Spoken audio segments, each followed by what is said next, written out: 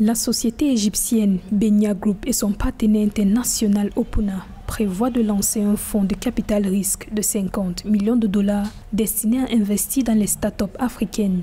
Les deux entités ont signé le 9 novembre 2021 un accord ayant pour but de fournir des investissements en capital et de soutenir les startups sur le marché africain.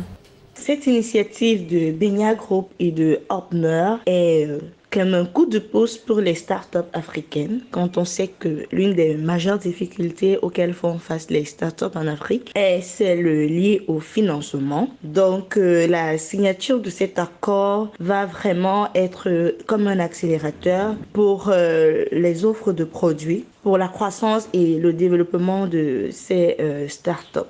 Concrètement, les sociétés Benya Group et Opuna vont mettre en place des comités de consultation et d'investissement pour sélectionner les startups éligibles, leur fournir un soutien et diverses ressources. Cet appui va faciliter l'accès des entrepreneurs africains au financement en les aidant à affiner leur offre de produits, à accélérer leur croissance et à se préparer à lever des fonds.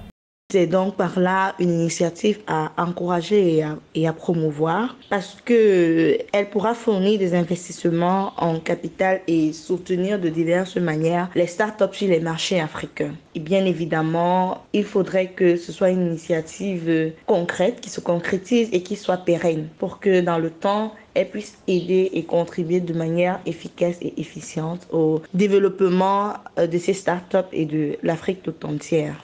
Précisons que la Société internationale de capital risque Opuna a récemment lancé un programme d'accélération en Égypte visant à investir dans 50 startups au cours des deux prochaines années. Depuis sa création en 2016, l'entreprise soutient les phases de démarrage des entrepreneurs et se concentre sur l'investissement dans les startups technologiques locales.